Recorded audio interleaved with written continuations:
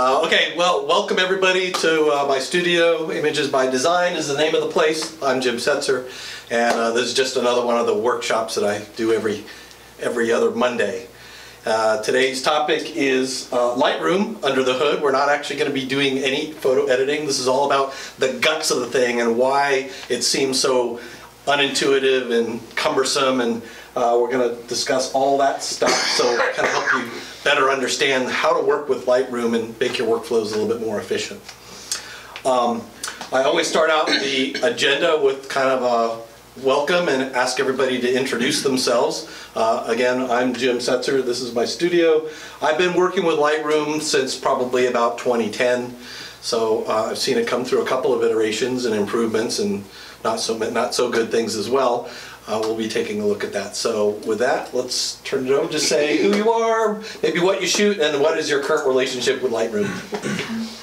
Wow. Uh, my name is Liz, and I've gone through Lightrooms three, four, three, five, and 6 Mm-hmm. I don't have the cloud though, and um, you know I'm just here to, uh, to learn what I can. Um, I have a Canon 60D and a Panasonic mirrorless, and I go back and forth depending on my mood between them. Good, good. All right, Annette.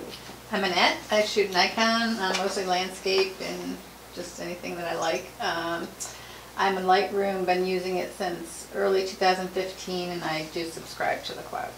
Okay, great. Michael, uh, shooting Nikon, a couple different models, D500 and 7200. And um, Lightroom, well, I shoot the landscapes, animals, whatever, a little bit of everything, just trying to challenge myself and learn. Lightroom just for a couple of years, I am on the uh, cloud with that, so. Do I know what I'm doing? I know enough to be dangerous, that's about it. Yeah, I got so many questions and I don't know if there's enough answers. Well, none of us in this room have all the answers. This is just more of a conversation. Everybody probably has a little bit different level of experience, different platforms, whatever. So this is me just regurgitating stuff. This is us trying to having a conversation and sharing our experiences. So thank you, Michael. Go ahead. I'm Viola. Hi, Viola. I'm a Nikon girl. All right. It's like that. I've been uh, dealing with Light- Lightroom since 2011. Yeah. I do have the newest version of Lightroom, and yeah, it's a learning experience every day. Great. I'm Mickey, I'm old school, I shoot film, but Get learning digital, started building computers because of digital back in 2001. Never got to really try, try Lightroom, but that's why I'm here. Okay, great.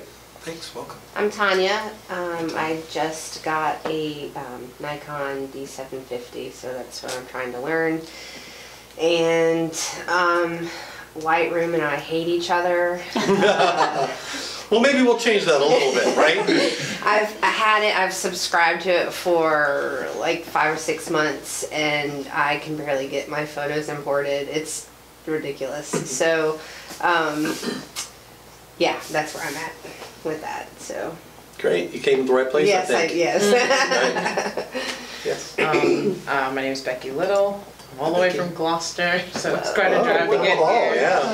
Um, I have, I'm a Nikon girl as well. I'm D90 that I have just been using the crap out of. Uh, I got a 50 F18 that lives on it and um, do portraits and some weddings when I get the opportunity. Uh, my relationship with Lightroom is that uh, after it was recently shown to me, probably in the last year, I was like, "Oh, this is so awesome! I love this batch editing thing." so um, I just skimming the surface. I know that there's so much more that I can do, and I, that's why I'm here. Okay. Great. There's Brian. I'm the only Canon guy here. So you just stand in the back of the class. That's why Brian's in the back. That's why you have me standing. Um, I've been uh, with Lightroom for about two years on the cloud. I shoot landscape, and my latest passion is uh, surf, shooting surfers. Great. Well, With, you're with not, your camera, right? Yeah, with my camera. Yeah. Okay. you're not by yourself. Liz is sometimes with you. Okay. Yeah. Part-time Canon. Part-time. Yeah, all right. Uh, my apologies, uh, I'm missing the one layer zero problem with this big monitor, so I'm going to be jumping up and down and, and hopefully everybody can see this monitor. Luckily, it's a pretty small group, and we'll be able to kind of hopefully follow along uh, best we can. Maybe.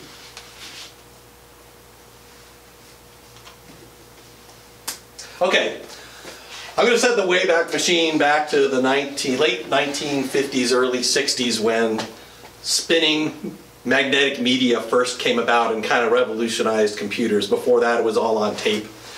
Um, the, the thing that spinning platters, old Winchester drives did was it gave us random access to all the information that was on those spinning platters. And it presented a, an interesting problem. How do you access, access all that data?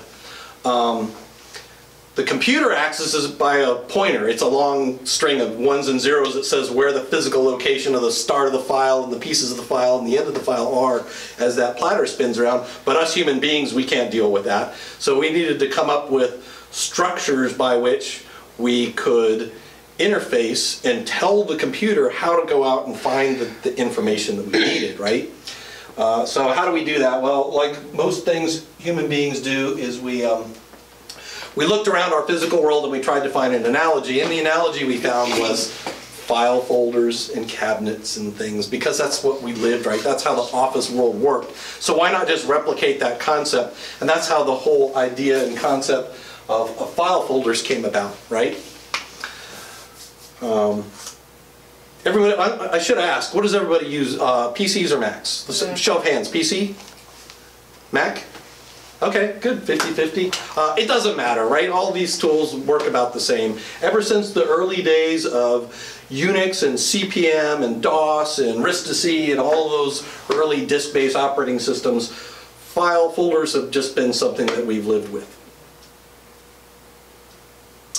Um, who's, who's been around computers long enough to have worked with old disk-based operating systems, yeah? What was the oldest uh, computer you, you worked with that had a, a disk-based file structure? Well, back in the eighties, so my, my, my father was building computers and I really couldn't get into it, I couldn't tell you what it was. Mhm. I started in the nineties. But Yeah, so in the home, in the, if it was a home PC, like a, Yeah. a IBM clone or something like that, it was probably whatever you. CPM or DOS or one of those it was early. DOS back then. Yeah, right, exactly. So that's where all that started. So the interesting thing about all that, s- th- th- this structure is, it's metadata. So who wants to give a different definition of what metadata is? Anybody? No? You've heard the term, right? Everybody's heard the term metadata. All right, well, metadata is simply information about the information. Your file name is metadata. So, snowy egret in pungo.jpg is metadata about the contents of the file. The .jpeg tells you and the computer and the applications the format that that information takes, right? It's a JPEG compressed digital image. Snowy egret is metadata that gives you an idea of what the contents or the subject of that file might be. And in Pungo is actually geolocation information. So there's a lot of information that you've added to the data just by giving it a useful file name, right? The file folder structure that you've decided on, pictures, 1972, Pungo, you know, all those kind of, every single one of those branches, those folders and nested folders is more metadata that you, that, that basically tells you something about those, the contents, right? Because you, you tend to shove things into folders that sort of make sense to you. Does that make sense? Right? Yep. All right. Um, So when we talk about pictures, there's a lot of different kinds of metadata. We already talked about file names and extensions and, and, and folders. That's all good metadata. Um, but we also have a lot of information embedded inside the image file, right? Who knows what EXIF data is? Yes? A little bit? Okay, so uh, uh, give us an example of, of EXIF data. What would you find? Like ISO 100, F11. Mhm, yeah. All like how you shot the picture. Yeah, all your camera settings, right? The time and date that the picture was shot, the, the make and model of the camera, probably the lens, the lens zoom setting or, or prime, whatever. There's a lot of information, right? And you can open up any uh, image file and look at the properties and go under details and you can find this wealth of information. So that's more metadata. It's not the actual image, it's information about the image, right? Also, in the images that come out of your camera, whether they be RAW or, or JPEG, there's also a little thumbnail version of that, that, that picture. Something that the computer or Lightroom or whatever application could very quickly read without reading the entire multi-megabyte file.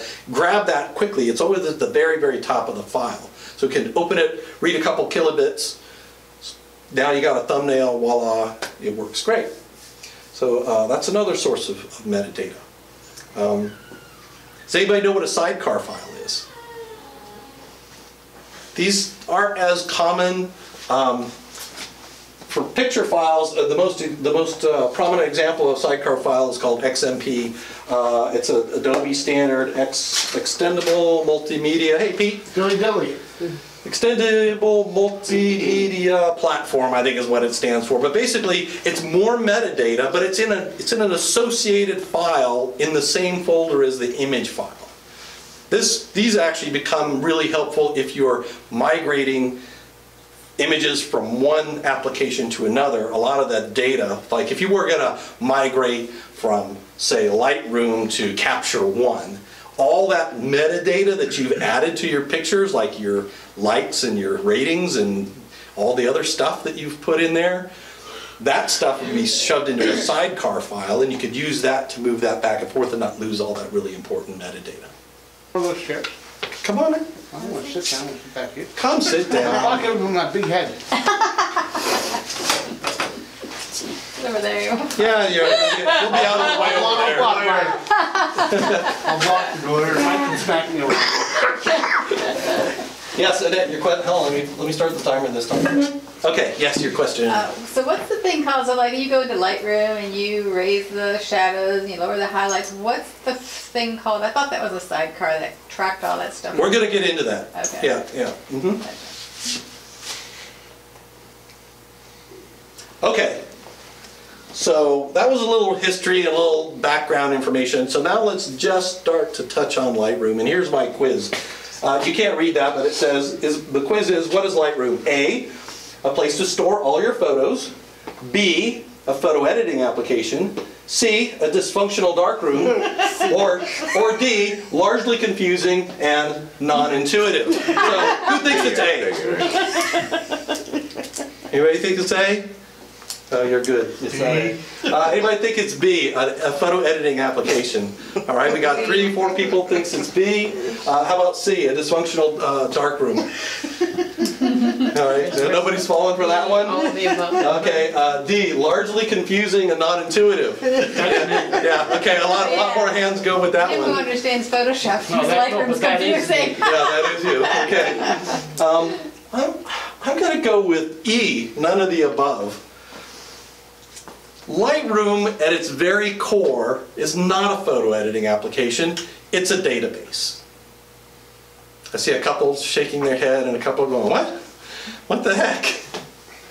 So what's a database? Who wants, who has a, a, a definition of database they want to share? It's a repository of files. A repository It's your of file files. It's a file cabinet. Hmm, all right. Anything else? Anybody else? With pointers. Pointers, yeah, maybe, maybe pointers. Um, yeah, think of it as a way to correlate bits of information from multiple sources. Right, and Lightroom is that. It correlates a lot of information from multiple sources, and that, in a nutshell, is really what it does. So um, that's why things seem to be so confusing. Why is it so hard to import stuff into the catalog? What's that? The catalog is the actual database, right? It's just Lightroom's name for the database itself. Um, and this database is basically rec- records and records and records of every file you've ever imported through it, not into it, but through it, and all the extra information that Lightroom has brought together and displayed for you in Lightroom to help you understand all the bits and pieces of your images. Okay? Does that make sense? Okay, so let's take a look at some of those things. Uh, remember I said in the quiz, like, you do not import your pictures into Lightroom. That's a big misnomer. You only use the import function in Lightroom to move pictures from, say, your memory card onto wherever you decide you want to put your folders on your computer. You can put them anywhere you want. You can put them multiple places. You can put them in multiple cities. You can put them in the cloud. You know, the, Lightroom really doesn't care as long as you tell it where it is, where the target location, the actual folder location where you stick your files are, as long as it, when it passes through that import, it does a really interesting thing. One, it pulls all that EXIF data, right? It's, it reads all that as it passes through. It also reads that little thumbnail we talked about. And when you're importing stuff in Lightroom, notice it, it starts out with a fuzzy little picture and it's not until you go in and pull up the picture does it sit around for a few minutes and then eventually turns into a decent resolution. That's because it starts with that thumbnail. Until it can build its own previews, it has to work with what it's got.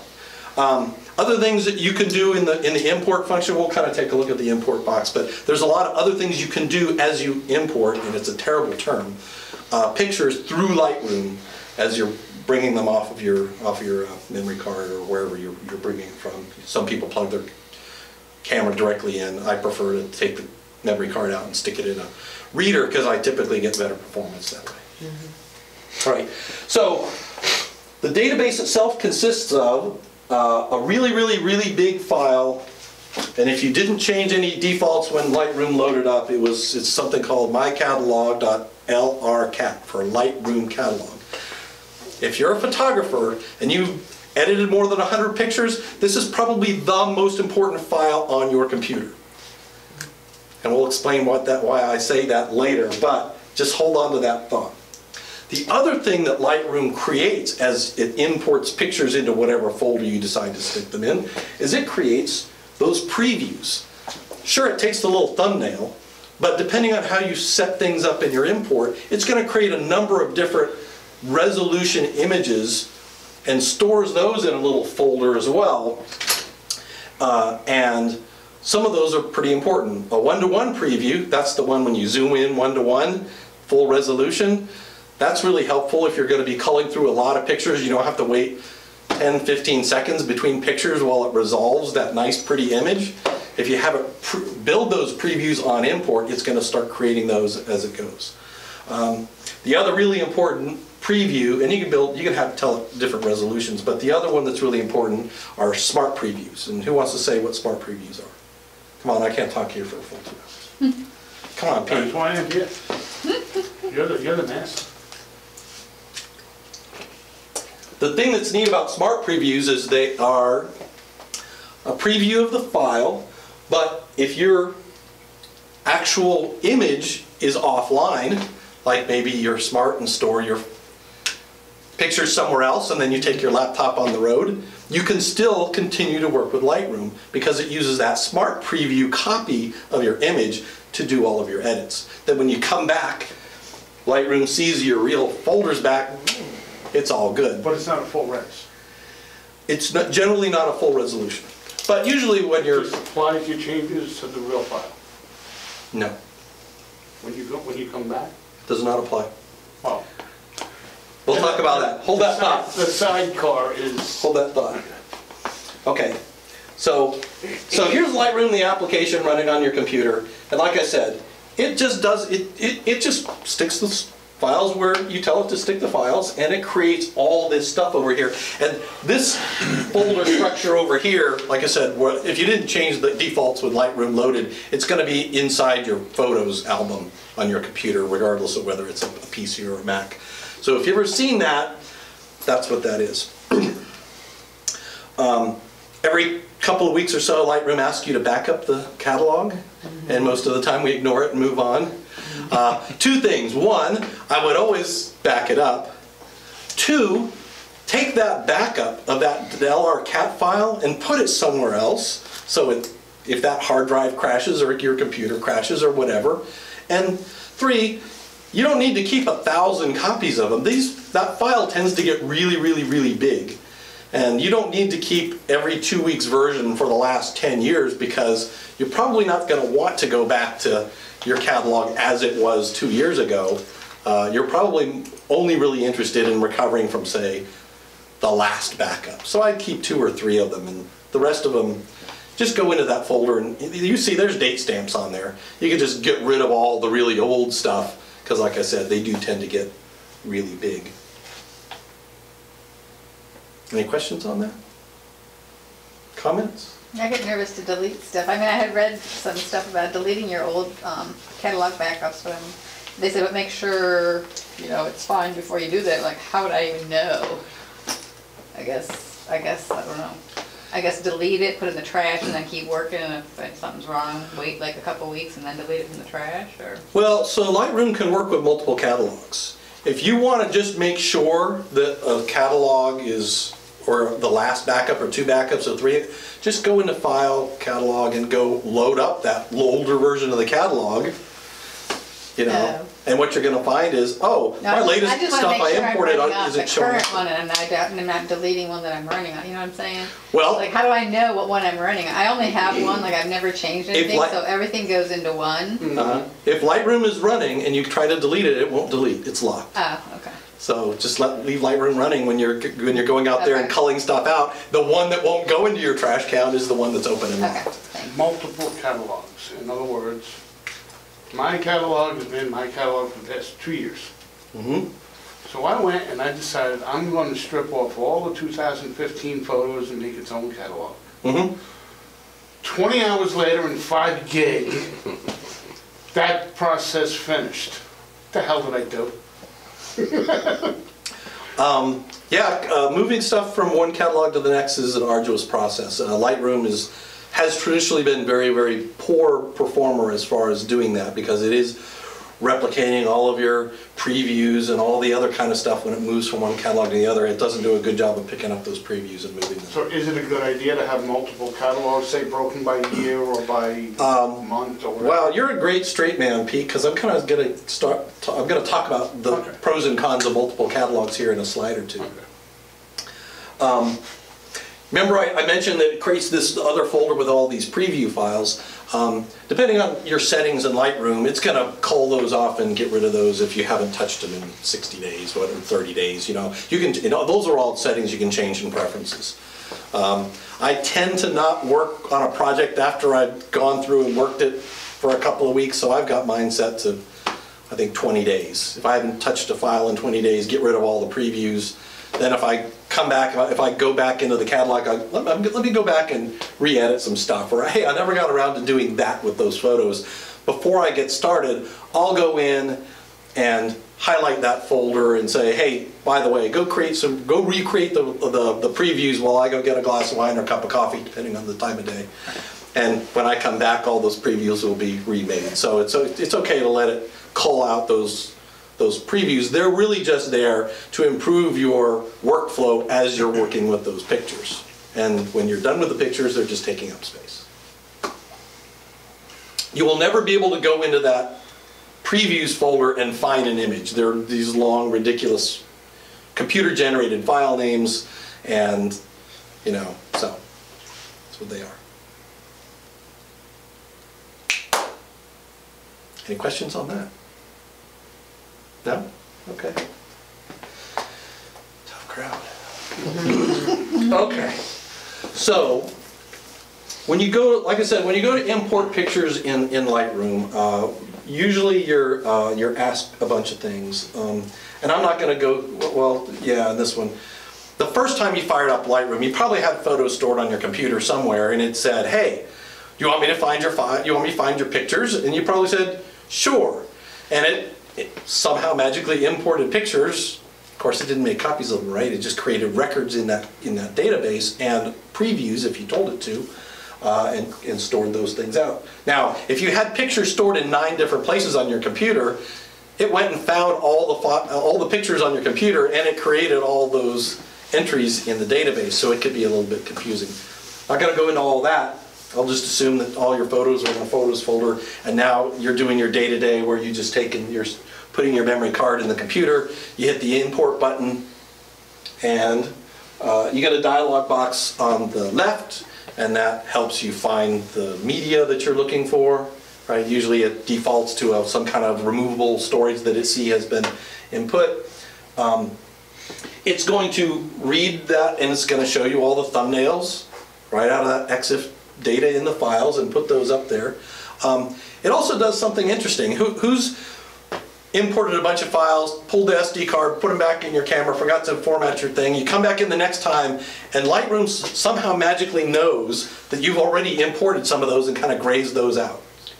Yeah. Did you have to tell it though? to- to- It's an option, and we'll, we'll go through that now in one of, in one of the fields on the right here. But yeah, by default, it's gonna say ignore suspected Oh. duplicates. So one of the things that Lightroom does when it imports files, uh, pictures, is it reads a couple kilobits worth of uh, ones and zeros off the top of the file, and it, that's kind of its header to recognize that file. So one of the things you guys see when you import all the time is it's going to try to not reduplicate file imports using that thing. It reads that, oh, I see a file that already has this string of bits. That must, that picture must already be on the computer, uh, so I'm not going to re-import it. The other reason Lightroom keeps that kind of string of bits at the top of every file is in case it loses it. If you go into File Explorer, Finder, whatever your computer is, and you manually move some of these things around after you've imported them into the catalog, what do you think Lightroom does? Get mad at you. Yeah, it's lost, right? It says, uh, I'm expecting to see this file, and it's, you know, gonna look at that string of bits, and I'm not seeing it, and you're gonna get a big ugly exclamation point there saying, uh, it's not here, it's lost, and, well, it is lost because you, outside of Lightroom, moved it. Um, Luckily, Lightroom's pretty good at, if you right-click on that little exclamation point, go find this file for me. It's gonna go scanning wherever you tell it to scan, and it could be your entire pictures library if you want to, you know, spend a lot of time at it. If not, if you've got a tighter, you know, you know exactly where you move these pictures to, then you can dial it down a little bit. And it, and it does a pretty good job of finding those pictures. And you really want it to find the pictures because if you made any edits to that picture, the Lightroom can't find the original picture, all those edits are lost. We'll talk about that a little bit more now. So you, anyway, you've got, so you got on the left-hand side, you've got your import dialog box, where we talked about that. Uh, you- Your preview pane tells you what Lightroom is going to import, and then you've got a bunch of dialog boxes over here on the right. Most of them are usually minimized, but they're all pretty important. Um, And maybe I want to stop right here and change into uh, like live mode. I don't know if I can or not because I've got this thing going. Well, let me just, let me just uh, scroll through these things. Okay, the first dialog box at the top. And you, you guys know how to work the, these little dialog boxes in Lightroom, little taco chips. You click on the taco chip taco and it, chip. and it rotates and opens the dialog box. And you click it again and it rotates and it collapses the dialog box. So the first one up at the top here, file handling, that has to do with, do you want to rename these files as you import them? Um, So, you know, usually your camera does some prefix code and some sequential number and, and whatever the extension is, and, well, maybe you don't want that. Maybe you want to put your name or something at the, at the beginning, but keep that, that numbered serialized digit, or, you know, you want to do something else with it. That's what you do in the file handling dialog box. Um, and file renaming. Um, Then there's apply during import. And um, that's really helpful if you have presets that you like to apply to every image. So you can select one of your presets. So if you've got a particular style that you work with, like I'm thinking of like, you all know Judith, right? Yeah, she's got a very distinctive style, and I would, I didn't ask her, but I would bet if she was here, she'd say, yeah, I've got a preset that I apply to every image, and I do it on the import. Because, man, how easy is that? Instead of having to apply it to every file or apply it to a block of files, just do it during import. You could also do things like put your copyright information there, your name, some other metadata that you would like to apply to the image. And so it's really important to kind of go in there and kind of set that stuff up. And you do it once and you don't have to worry about it again. Unless that preset doesn't work with everything. If A was, a uh, preset that works with your portraits, and then you go and import a landscape with those presets, sometimes they come out a little wonky. Yeah, you want to be careful with, with, you know, when you're creating your presets, you definitely want to make sure that you're, you are grabbing only that development, uh, the development uh, fields that are going to apply to that, to that kind of import And I thing. ex- I speak. So of crop is experience. probably a bad one. Local brush stuff, Yeah. that's probably a Speak out of bad one. Experience. Yeah, yeah, yeah, good. Yeah. mhm. All right, what else can you do? Um, And then destination, that's really an important one. So um, uh, around the room, how do you have Lightroom create your destination? Um, b- Uh, by default, it wants to take whatever your file folder you specify and then add like a year and a month or a year and a month and a day or so one of these formatty things that adds more file folder structure to your pictures. Who does that? I go them around. No, just you do flat. I bring them into the computer and then run the import from where the resident on the computer. So I don't have to deal with that. I was that gonna say, is that, is that, doing it that way, is that redundant for Lightroom? If like, you say load your pictures through like an image capture or just like a basic load in and then import to Lightroom? Yeah, um, it's kind of, you, you guys are, are man, you're, kinda- you're, you're great straight men. So why would you need to put any kind of additional file folder structure into your pictures when the data's already there? We already said that capture time and date was part of your EXIF data, right? Lightroom knows that. It, it knows all that information. So why are you building these redundant and now kind of clumsy 1960s, 70s technology file folder structures in there that are redundant to data that's already in the database? Because my head's not a database and I gotta see it. If it's in a folder, I have to see that folder. I can't rely on Lightroom to make sure I'm in the right area. Not making sense. No, no, no. Yeah, I was I- gonna say- Makes sense to It's- me. You know, we, we, uh, those of us who have been working with computers since the 80s and, uh, and have just kind of grown up around this, it's very natural for us to want to store everything in these folder structures that we can get our hands around. The problem is that it's, this is really, really poor knowledge management concept. Why? Because if you have a file folder structure and you put everything in there like that, well, that's all well and good if the only time you ever want to sort and filter your pictures is by that folder structure, you can drill down and you can get to that set of pictures. But what if I want every picture of every snowy egret that I ever took, regardless of time, date, location, whatever, I spend forever looking for all the pictures of snowy egrets because all I have in my metadata of the folder structure is what I've already created.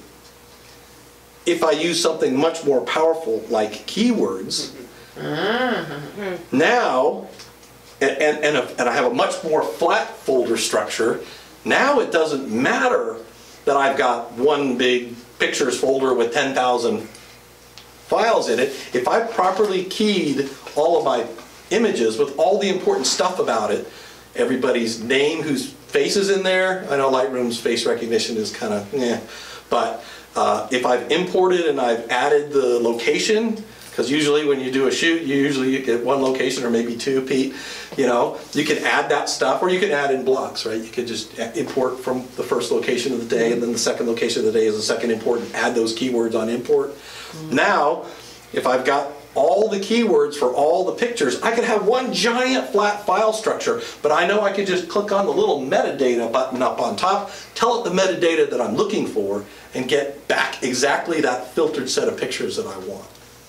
It's much more powerful. If, if you add that metadata every time you import your stuff. Or you do, or you do the really painful thing, and, and that was, which is what I did about four years ago. I collapsed all that file structure, and I converted every file folder name into more keywords. So I haven't lost any of the metadata that used to be my file folders, because every t- I'd click on a folder, I'd say apply the keyword, whatever the folder name was, to every file that's in that folder, and then I would collapse that folder, and I'd work my way back up to the point where I have a, I'm still not one big flat file folder, but I have a small enough number of them that it's much more manageable. And then along the way, you can do bulk kinds of things that will allow you to add additional metadata, and now you've got really, really powerful things. But you can always do it on the fly too. Yes, you can. So instead of making a file saying, okay, this is Susie's photo shoot, you just go in, you, when you're downloading Susie's photo shoot, you type in Susie, you type in where you did it, and then when you search it, you don't have to make a folder that says Susie's photo shoot. Exactly. Yeah, and like I said, the best time is during that import, because you're, you've got an idea of all the metadata that's important to you, maybe the subject and the location or the, or the event or the whatever the thing was, add those keywords into your keyword string field, and now they're all associated with that.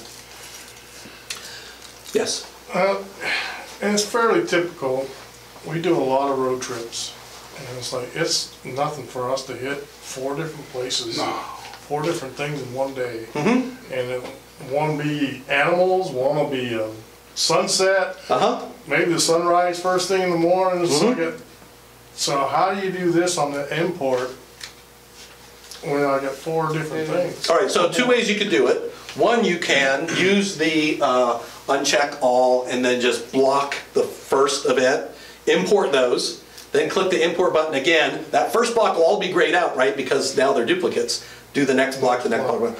Or, if you want to do something different, how expensive are SD cards these days? Right, you move from one menu to the next, just swap out and put another SD card in there. Now, now that delimiter is now part of your workflow, and that's even easier. For me, it's easier just to go swap out an SD card if I move from one venue to the next, and then I've got that natural block. And then I don't have to keep playing with these check, uncheck all, and then highlight and check, and, you know, divide it up from a single file. We're talking about like, if he goes to Maine and he goes to Arizona, they're two different SD cards. Yeah, or But three he goes to a truck stops at grave, graveyard, and then later in the day, he goes to a, a, a- a state park. You swap out the SD cards, now you got two basic import functions you Right. do, right? So you put in the first one, they're all the truck graveyard, you pop that, you know, you import that, adding all your keyboards along the way. You grab the next one, voila, it works. Just rem- remember to remember which winery is which. Yeah, that's harder to do as you get to the fourth and fifth Picture of the name. Put little sticky pads and put them on your things. SD cards. There's grapes here, there's grapes Like a related question, let's say you do have the SD card with the 500 photos or something like that, and you want to do an import of 100. Um, Do you have to like click each or unclick each 100, or is there a way to like, Shift with the- any other file? Because Yeah. I've tried that, Yeah. you know, where you do the, the, the shift thing, and then you do it at the end, mm-hmm. Mm-hmm. and to, to capture them all, and it's not working. Yeah, so here, here's the missing steps. There's a little box down there that says uncheck all. You notice there's a little check box? Mm-hmm. You uncheck all, the check boxes go all the way around, all, all the way, right? There's no more check boxes Okay. on the screen.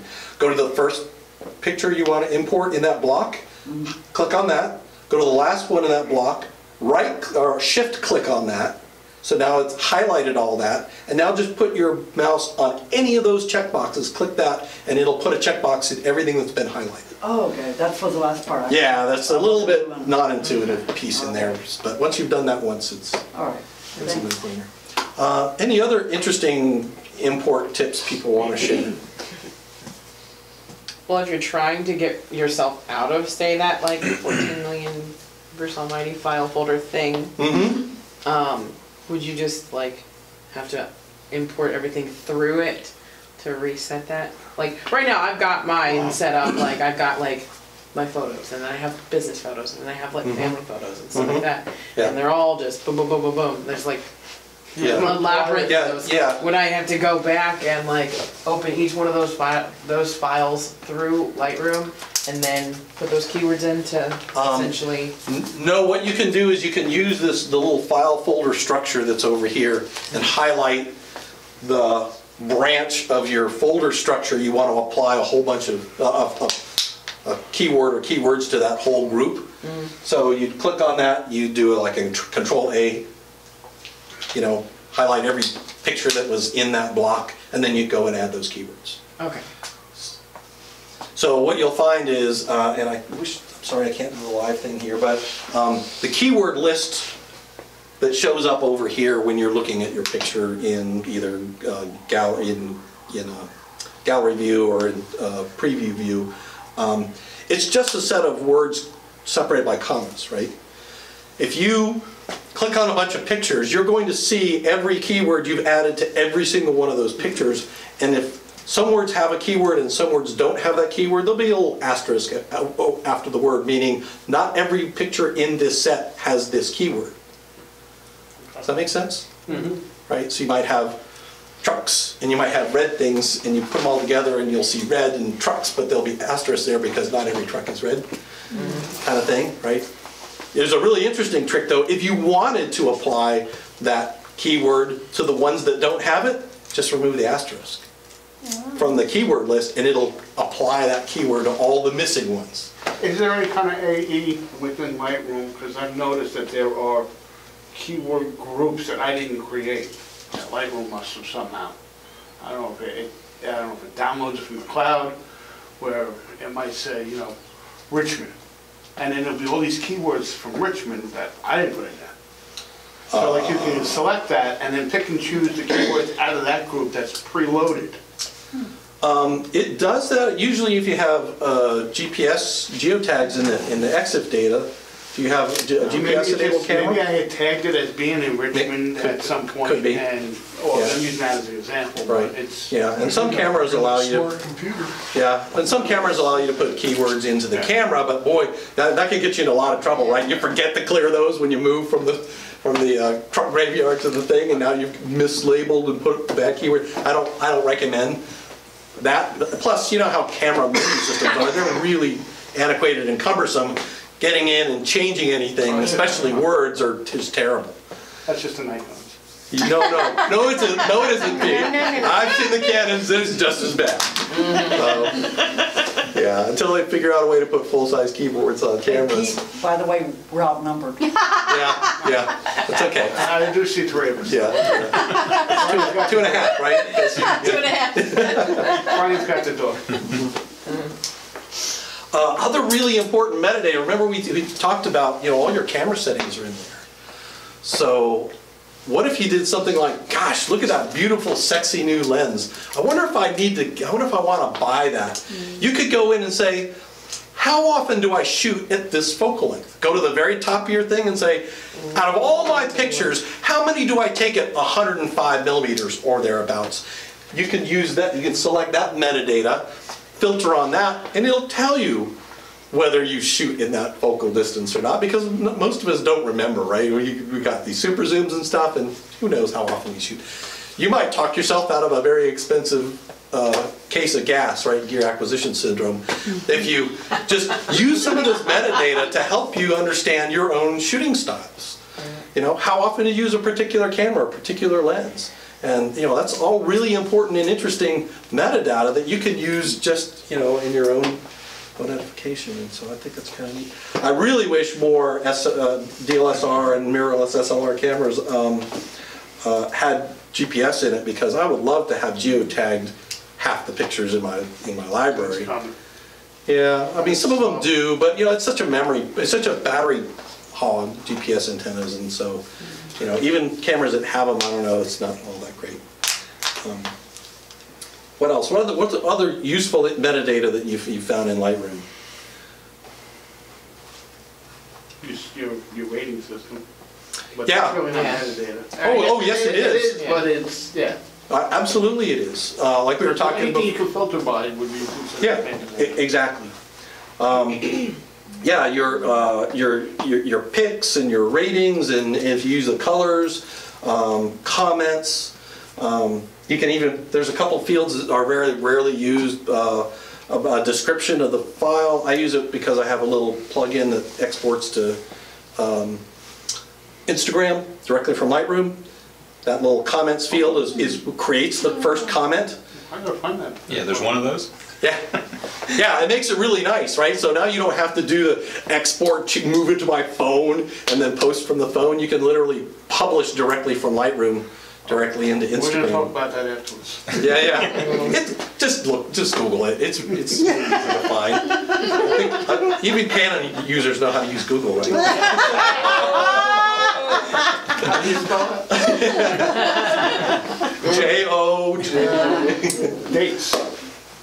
Yeah. Sorting by date, well, finding by date. Yeah, so, but that's all in your metadata. It came out of the EXIF, and so, yeah, sorting by dates, you know, tell me everything I shot in that- this particular thing. So, you know, sorting by date is a, is a, again, it's there, so why replicate all that in a folder structure that's gonna hinder you from being able to use that sort of stuff? Pete, you talked about multiple catalogs. Um, Here's why you might not want to have multiple catalogs. You cannot search multiple catalogs simultaneously. You'd have to close a catalog, open another catalog, and as you know, you gotta reboot Lightroom to start up a different catalog. So if you're looking for every red fire truck you ever shot, you might have to open up multiple catalogs to go and find all of those. And so that's the downside to multiple catalogs. The upside to multiple catalogs is that after about 10, 15, 20,000 pictures, depending on your performance of your computer, Lightroom starts to really slow down. Um, and so some of us that have, you know, north of 100,000 images in the catalog, uh, we, we have to use a lot of horsepower to keep Lightroom alive. And so there, you know, the, the, it's, it's a trade-off, right? Um, let's see, what other interesting things about that catalog? Um, uh, optimize it. Please do optimize it. When, when it does a backup, it says you want to optimize. Please have it optimize your catalog. That's going to keep it relatively clean uh, and, and help you. Uh, go into your preferences and set those preview expirations to something that works for you. Um, the catalog, again, is a big clumsy thing. If you have a solid, solid state drive in your computer, putting your catalog on your solid state drive will vastly improve all of the performance in Lightroom, not just the import, but everything you do in Lightroom will be improved if you can move your catalog into a solid state drive, which is many times faster than the spinny disk. What is a solid state drive? It's basically a very fast flash memory drive inside your computer. Uh, they, it looks to your computer just like any other disk, uh, but they're much, much faster. They're going to be more expensive per byte than a spinning hard drive, but, Physical. But uh, yeah, they, you know, they work exactly the same. But it's something you get put into your computer as opposed to an external hard drive? Yeah, that's correct. Yeah, even, even the fastest USB is really not nearly as fast as an internal, like a serial ATA SSD. SSD drive. Sol- SSD is solid state drive. So it's just basically really, really fast non-volatile RAM. Uh, if you don't have one, I kind of highly recommend get with a computer expert. Have them add one to your computer if possible. Uh, make that your boot drive, and you'll be surprised how quickly uh, your Mac or Windows will boot. Uh, and put all the things that really need to You'll say, go where have I been? Where you been all my life? Yeah. Yeah. So who, who does that? Who has their, who has their catalog on an SSD? I think I got something. Yeah. Yeah. It's on the Mac, What's that? the Mac's got, Some Macs do, Yes. right? Depending on the Mac you bought and which version of, you know, the Pro or whatever. So Can't some buy a new versions have an now S, uh, a solid state really? drive and, and then it's got a spinny drive for your, your bulk stuff. Others don't. So you gotta check your, your specs on your computer. It's gonna come with two hard drives. One's gonna have your operating system, one's the SSD. And you're gonna have your data storage, which is gonna be a rotating disk, Okay. most of them. Okay, this is where um, the the is not going to work because they don't have a monitor for it, but uh, we talked about viewing your metadata. So in your library mode, uh, it's just the little boxes up on the top. You click on that and your metadata windows come down. It gives you four windows that you can sort concurrently. So you can say, uh, in this window, I can pick a date, all my pictures from 2008. And in the next one, you can say, uh, using this camera. And in the next folder, you can say, using this lens. And the last one, you can say, change that to over to, uh, Pictures of Jim. yeah, so you can have, you know, you can have your, your uh, uh, keywords, and then it'll show you every keyword that match the other three original, uh, previous criteria, and you can just pick from that the ones you want, and it'll just filter down to that subset of stuff. So you can filter four layers using the, uh, the metadata on top. Uh, we already talked about all the additional metadata, um, and like I said, some of the metadata that Lightroom itself generates, like your pics and your uh, ratings and all the other stuff that Lightroom adds into your records in the catalog, um, those things could be exported to other applications if you wanted them to, using those sidecars that we talked about. So if you were going to use Capture One or some other program, you could export all that Lightroom specific metadata into a sidecar and then you could pull that into, into Capture One and you could then migrate some of that external metadata that Lightroom provided and added to you, all your keywords, all that kind of stuff. Um, What you will find is when you, if you export to a JPEG or something, a lot of that external metadata gets added in Um, And so if you hand that JPEG to somebody and they pull it into Lightroom, they'll see your ratings, they'll see your colors, they'll see a lot of that metadata actually gets added as special keywords. Yep. Um, Who wants to talk about collections? I've used them. I use it. Use them? All right, so how do you use collections? I use mine as a photo album, so if I go somewhere, I just pick all the pictures and put them in a collection, and that's where I edit from, and then I determine which ones I'm saving and which ones I don't. And then I do my metadata kind of at the end, and maybe it's different, like I'll put my name and my email address or whatever before I export the JPEG. I'll just click on all those in that album, when a collection, How often does your name and your email address change? Never. So why don't you do that on import? Wouldn't that be more efficient than every time you go to export an album? Yeah, But that's how, and then I delete them, I know a lot of people keep them forever, but I'll go, because I mean, it gets a big long list on the left-hand side, oh, I'm sorry. Yeah, mhm. So then I go through and I'll delete them. right. But I mean, some, like my cat, I always have my Ariella folder, certain ones I always keep as an album, Yeah. but other ones I'll just delete. How about you, Pete? How do you I'm use doing an collections? event. Mhm. I'll go down and I'll edit and skip, skip, edit, and as I edit and I'm done, collection, collection, collection, and then I'll export them out to the website or whatever I'm gonna do with it, so everybody's in a big pile and it just goes, and I'm done. Mhm. And then when that's done, clear the collection out. Yeah. So if you've never used a collection, it's basically just a special keyword, the name of the collection. That's just another bit of the, of the record in Lightroom. Um, It's unique in that Lightroom gives you a special place on the left-hand side in library mode to view a particular collection by the things you've said are part of this collection. It's the same thing as if you filtered by some special keyword in general, the way you guys are using it, but it does have a lot of significance when you start talking about Creative Cloud. Um, So yeah, collections are neat. Uh, They're a great way to, uh, you can take a- an image and add it to multiple collections. It's not creating any copies, it's just literally adding the name of the collection to the record in, in the LRCAT database file. So you can have as many pictures and as many collections as you want, and it only adds a few bits to the. It's almost like the way Past does their albums, where like if you have the, the wedding, and then there's the reception and the ceremony, and then you can have one that's just the bride. Well, there's a bunch of pictures from the, the reception and the ceremony that are the bride, but that's mm-hmm. all the bride, it's all just been tagged. Yeah, yeah, Okay. so you could do the same, you could do it with keywords, of course, but then you'd have a lot of keywords with people's names and stuff in it. Or you could create a collection for some event, and then you could even have a, what are, the- what are, what are collection sets? What are, what is the term? You, you could nest them, right? Mm-hmm. So You can have a collection of collections. Mm-hmm. So you can have the wedding, whatever the name, bride and groom, whatever, however you want to name that. And then inside that, you can have collections of the bride, the reception, the wedding party, the, you know, blah, blah, blah, blah, blah, blah, inside there. And you could then use that to very quickly filter through that stuff instead of going through the more arduous process of picking through keywords in the, in the metadata, metadata fields.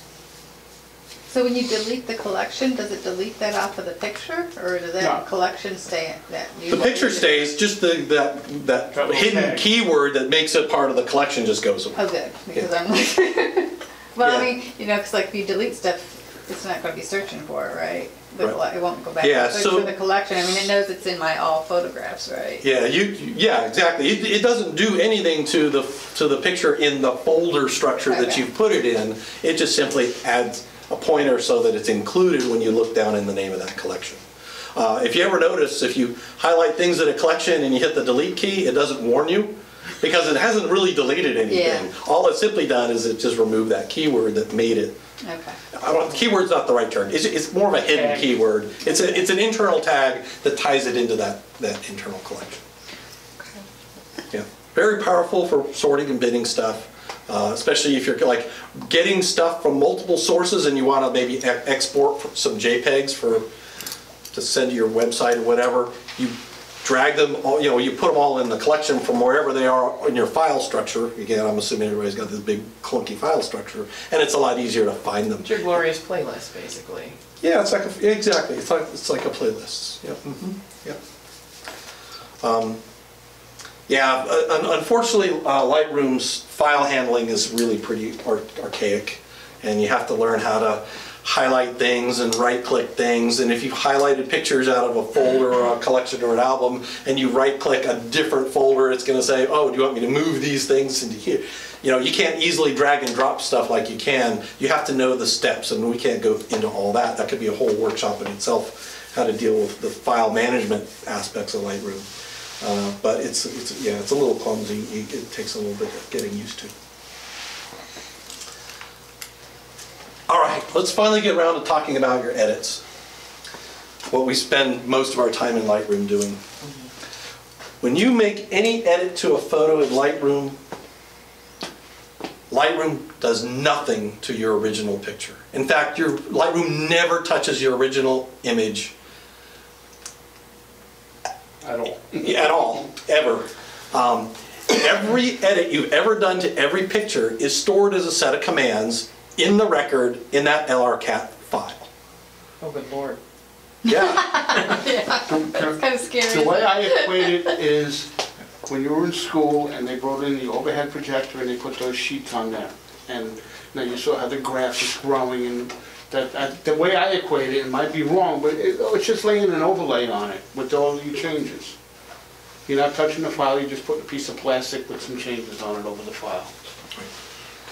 um, and it's every change in the order that you made them. You don't ever pull up the history, you can always back Right, up. And you can back up, yeah. right? It's, how do you suppose it can do that? Well, it can do it because it never touched your original file.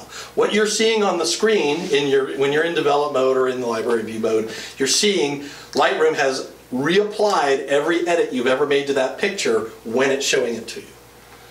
So if you could go in there and see it, it would literally look just like your history.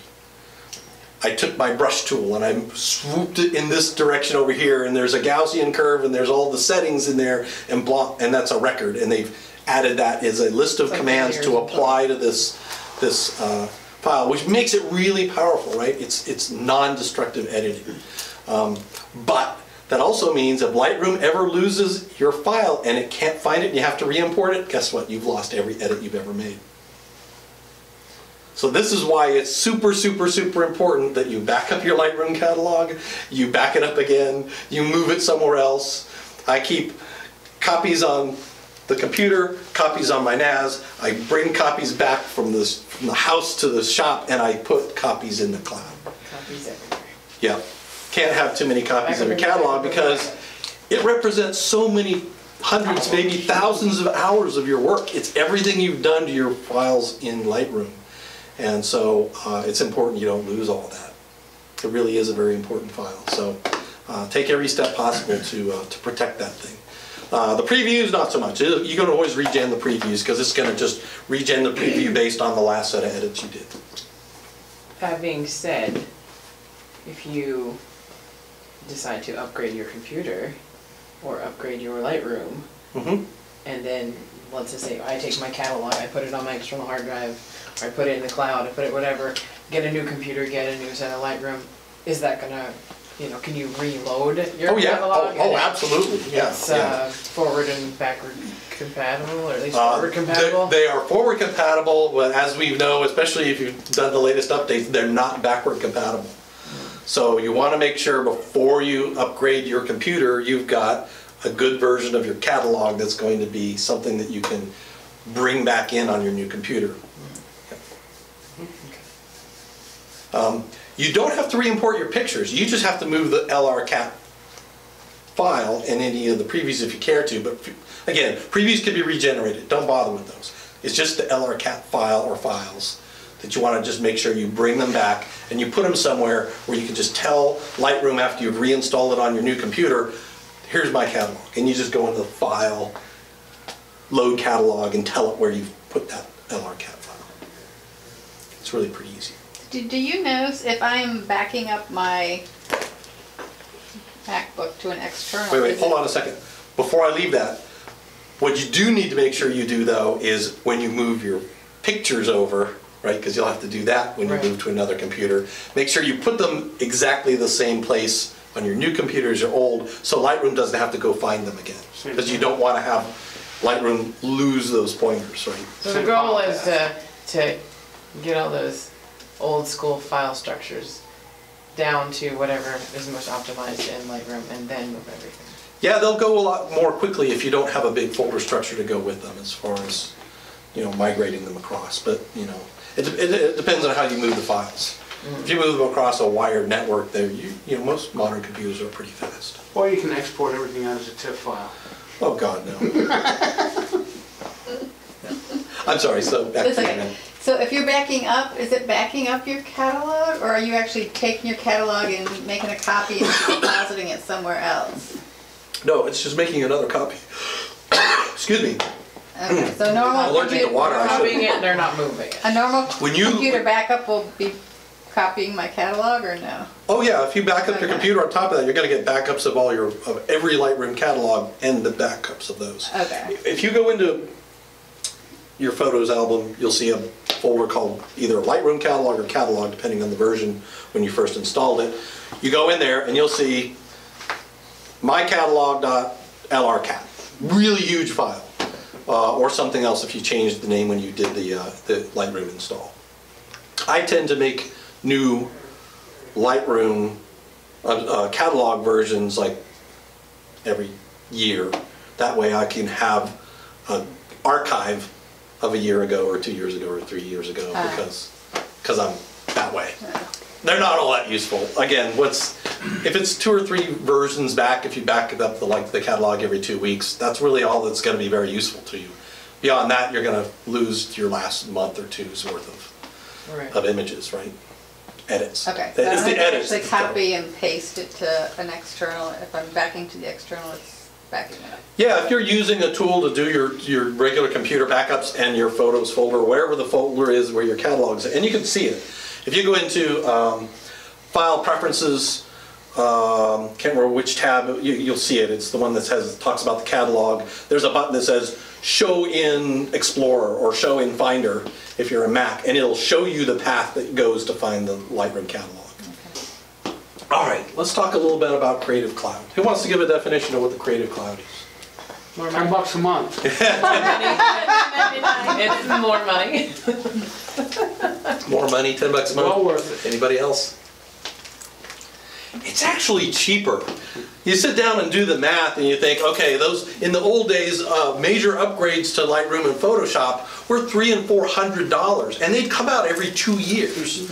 So you do the math, and actually the subscription is cheaper in the long run if you want to keep up with, and you have to these days. Camera equipment, you know, all that kind of stuff, and you're getting updates live, right? We, we just saw it last week. We got a whole new set of updates to Lightroom and Photoshop. You had to go seven years without upgrading before buying that way. Right, right. So that's, so that's one thing that Creative Cloud does, is it converts these uh, monolithic applications, you said you're on Lightroom 6 now? Um, Into um, subscription services. So that's one thing, and that's what people, a lot of people think, oh, that's what the Creative Cloud is all about. But it's a lot more than that. Um, It really is changing Adobe's tool set from being monolithic standalone applications where you work on your stuff to really full collaboration tools. So if Pete and I are working on uh, a project uh, and I'm doing certain uh, parts of it and maybe I'm doing the tonal curves, but Pete's doing all of the, uh, you know, the brushwork, the dodging and burning, we can share that information over the internet or over any other kind of network using Creative Cloud as the conduit for us to share that, uh, that, that stuff and work live. Uh, Another thing you can use the Creative Cloud for, because it is, has all these great networking features, when I travel, I travel with a tablet, I don't travel with my full-blown computer, but I want to make sure that all of my really important pictures at the end of the day are going to survive a hijacking, uh, a theft of my computer bag, uh, me being stupid, whatever it is, fall, drop, you know, falling into a river, whatever. So at the end of the day, I take my most, my, my, my potential pictures, the ones that I think are going to be really worth having, portfolio worthy, uh, you know, money getting worthy, and I add those to Lightroom Mobile, and Lightroom Mobile synchronizes them through the cloud, and they're on my NAS back at home in, you know, minutes, uh, depending on your Wi-Fi in your hotel or whatever. Uh, So that's really important, it it gives you that. And, you know, now I can edit all my photos on the airplane using Lightroom Mobile or whatever, and guess what? Since it's non-destructive, that's just a set of edits. That's being applied to the actual files, and when I get back home, I can see them in full res and blah, blah, blah, and so I can, you know, be productive on the road. Does everything that you, you, like everything that you upload to Lightroom Creative Cloud, that version or edition, do they all go in the cloud? We're gonna talk about. what you said. Yeah, so what I I'm- the straight straightforward stuff. Yeah, so what I described just there has to do with collections. So you can take a collection, and one of the options you can say is synchronize this with Lightroom Mobile. That basically enables a connection through Creative Cloud to any other devices you have in your subscription. So for me, it's my tablet, it's my second computer, those kinds of things. And so now everything in that collection synchronized through the cloud is visible and available through to my collaborators or my multiple devices if that's the case, right? Um, We'll talk in a minute about what the new Lightroom CC is all about and how that's, that's fundamentally different. Um, Another thing Creative Cloud can do for you is it can be your conduit for sharing pictures with your customers, your models, or whatever. So you can take your collection, you can say synchronize it with mobile, which puts it in the cloud, and now you can say, Adobe, generate a private website that contains just those pictures and give me a link that I can share with people and they can see just those images just as I, ex- I want them to see them and they can like and comment on them and I see those likes and comments back inside the collection. But they can't download, they can't do anything to them. Only if you enable download. So it eliminates the need for a Pixieset or a SmugMug or a. Yeah, Avia, all these other things, so, um, uh, it used to be, you know, you'd export, and then you'd publish to some external yeah. service, then you'd send the link to your customer or your client or whatever, they'd probably find, you have to have some mechanism for them to create their comments or suggestions or pick their favorites or whatever, then you'd have to go back into Lightroom with Lightroom over here and their comments over here, and you'd have to tag or whatever you used to use to synchronize all that stuff back up again, and then you could continue editing. Well, with Creative Cloud, you could just say, pick your top five and give me comments on all these proofs that I'm sending you, and all that stuff comes back in real time to you. Um, And, like Pete was just saying, if they're final edits, maybe they're for a customer, you could say, allow downloads and allow downloads at full resolution. Or something smaller, really depends on, on you. So now you can use it as the tool that you use to present or sell your Right. finished products to your customers. well. Especially if you're not sales driven with prints and it's. Yeah, if it's a it's digital all- It's all sell, front end. Yeah, um, Yeah. you know, I'm, a- and, and I, I love in-person sales because, man, the- you know, print business is, is great, you know, and when people see their, their, their images in big print, that's a very different thing. But a lot of photographers are digital only, and this is a great mechanism, and you already have it. You just have to take advantage of it. Um, And as of last week in the latest update, guess how much storage you have in, in Creative Cloud? Ten gig? You have one terabyte. What? Wait, I thought you had to pay for it after No. ten gig. Nope.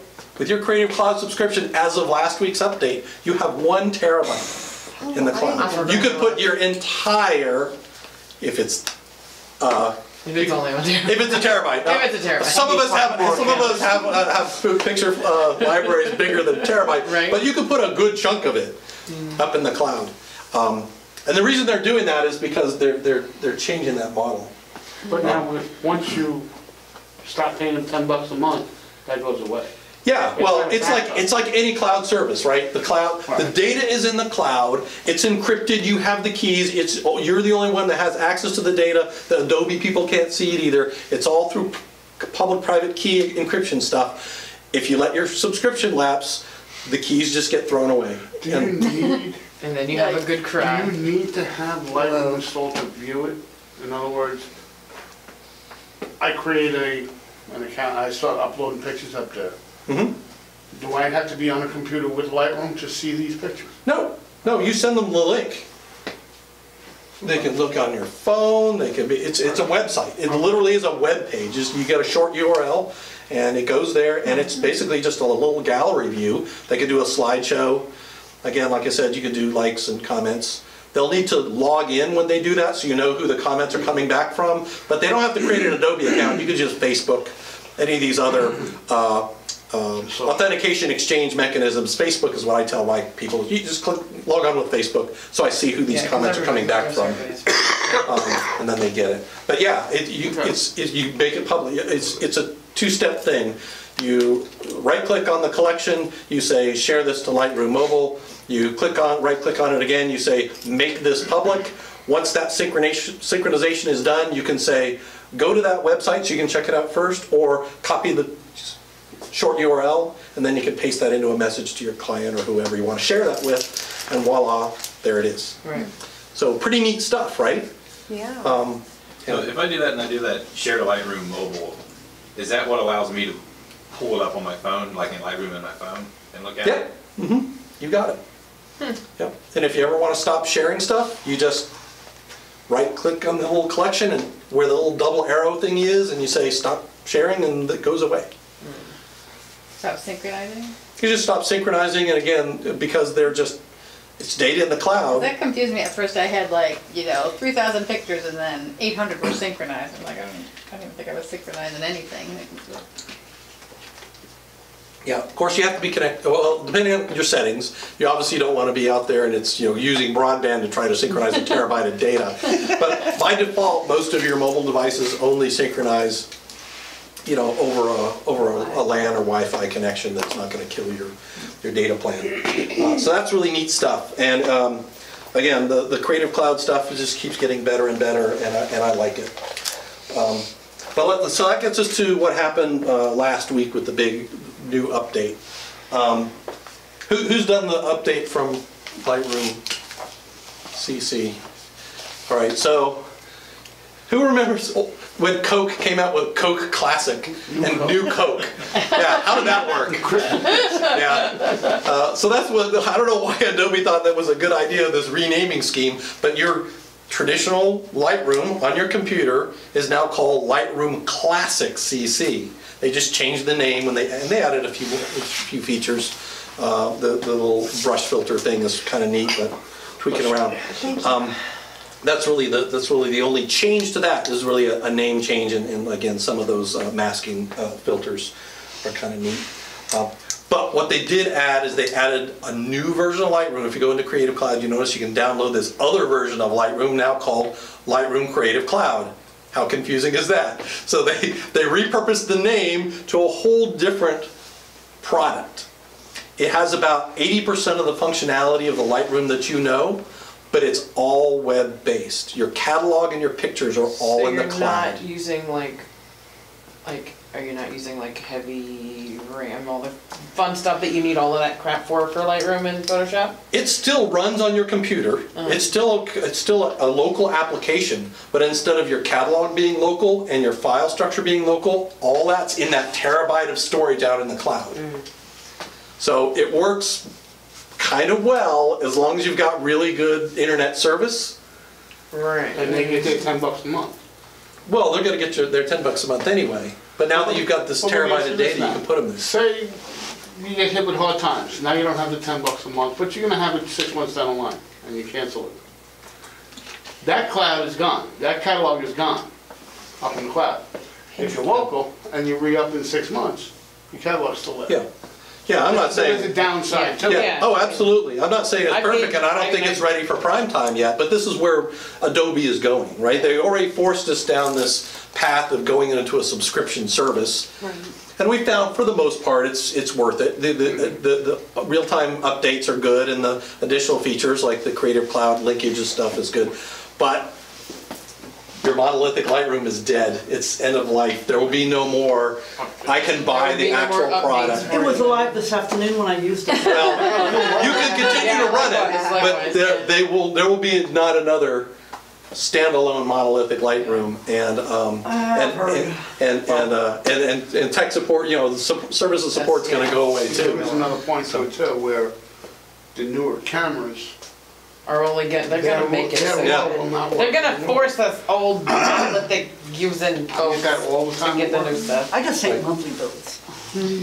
Right. Yeah. I know, I agree. contacted Adobe with my six before, I have it on the just separate laptop, and they told me that they couldn't help me with it at all. They told me, no ma'am, we're not gonna help you with it all, that's when I went to the subscription oh, service on my new laptop. Service line. Yeah. Yeah, they told me that, yeah, they told me, there's nothing I can do for you, nothing at all. Do you know why you have to copy, I mean, I'm not doing it because I don't have room to copy my catalog. What's the purpose of the They, catalog? they made the catalog 15 to 20% more efficient. Uh, And so they changed the format a little bit so that uh, your imports are going to go faster. Uh, Switching between library and, and develop mode is going to go faster and certain other things that were GPU intensive. Exports are faster too. Yeah, um, GPU intensive stuff like uh, clone stamping and some of the uh, filters and brush stuff are, depending on your GPU. Some GPUs work better than others. Processing unit. Yeah, no. Yeah. I mean, uh, mine's old, that's why. Yeah. And I need to So- get a new machine, but so I can't, so I guess Yeah, I'm just gonna wait and get a new machine and start this. all over because I can't, I can't upgrade. Um, It's I cut got, out. I don't got like hundred and seventy-eight gigabytes left My on my five exports hundred. automatic in half. You know, a lot faster. Mac Yeah. officially, Mac officially has said, oh, you can't upgrade anymore, you have to get a new computer. Like, Yeah, hmm, Okay. they all, they all want our money, but now it comes with features. What else? Other thoughts and comments, guys? Mm-hmm. So that latest update is gonna take a lot of space, isn't it? What's that? The latest iCloud Lightroom update. Uh, well, what do you mean a lot of space? I mean, the, the, the new version of Lightroom is actually smaller because it's new code. It's a lot more efficient than, than classic CC currently is. Um, the- Again, it's still not ready for prime time. There's some things that just aren't, Do aren't you have to quite choose one or the other? No, no, you can run both. I'm running both. both on this computer. Um, and so what happens is anything that you currently have shared as a, you know, share with Lightroom collection just magically shows up in the new Lightroom CC as your library. There's also, there's a button you can press that says, take my entire library and move it into the cloud. Um, uh, which you, I guess you could Yeah, do if you're under a terabyte and, and it would, it would eventually work. Um, and it's gonna have a local cache, so if there are pictures that you're, you- you're working on, you're not having to go out and use your, you know, your Wi-Fi and your internet to do all that stuff. It's, uh, you can, you can set the amount of local storage that the new Lightroom CC will use. So if you're working on a project, it's still gonna be local, it's relatively fast. Then it's going to synchronize all that data back up into the cloud uh, when it has time. But if you only want to update classic, I'm using classic and I'm not That's gonna use the cloud because I I- don't do Instagram and all that stuff. Mhm. If I go in and I look at that LCT, my catalog, whatever, and I see it's however many gigabytes, Mm-hmm. I have to have twice that free in order to do the update, right? Because it's gonna duplicate that. Um, You're probably gonna want at least twice that free because it's gonna create some temporary files and then it's gonna create the new file and eventually it's gonna uh, re- remove the temporary file when it's done with the conversion. And you wait till you got a new computer. Anything older than six months, just get rid of it. I'm nervous to delete. Well, bet. But I have backups. But I'm like, what if I don't, you know, what if I don't realize I didn't do it and then I write over the backup? Well, like I said, just leave Lightroom running when you go to back to erase those files. You know you're not actually gonna erase the one that's currently running. Now, if you have multiple catalogs, like Pete was saying, you gotta make sure that you're, you know, you keep the multiple catalogs you're one. using, but, um, yeah, if you just have one catalog and use that all the time, just, you know, keep two or three backups and anything that's older than that, just, you know, Get rid of change the modify, sort by modified date and get rid of all that stuff and you'll magically have all kinds of room. And then once you do that, then you have to then go back and delete your other catalog at some point, right? Once you start working in classic and you realize it's fine. you Yeah, I'm not gonna delete my, uh, my old Lightroom catalog anytime soon, just in case I run into something and I like, it, you know, it's just not working well. But, uh, you know, it's, that's only, that's only the latest version, right? It's not going back and updating all of your backups. Going back to t- the tags on the files. Mm-hmm. There's a little trick that I like to use, a lot of people do it through Bridge, but after you code your pictures through Bridge, bring them to Lightroom, and then you find out, well, there's a handful here, a whole bunch that I'm never gonna use. If you go into Room, and you highlight it, and you hit the X, it'll mark it as rejected. You can go through all your pictures, all your folders, and just keep rejecting them. And once you want to get rid of them, you go into photo, rejected, and it's gonna ask you, you want to delete them off a disk too, and you say yes, and they all go away. So you're clearing out your catalog of the bad ones that you don't want, plus the dead files. Right. Yeah, pick and Not gonna do reject are anything just, with 'em. there's some more of those, you know, internal I keywords, find that tags. very useful for me. Yeah, yeah, I do that all the time as I'm culling through, I find stuff, you know, missed focus, whatever, cropped off a finger, or whatever, you know, so anything that makes that image not usable, I just, as I'm doing my initial call, I just You don't X, have- X, X, X, X. You don't have to blow it away right away either. You can close Lightroom, bring it back up, it's still gonna be marked as rejected. So if you're not sure, you, man, maybe I wanna get rid of it, you can do that.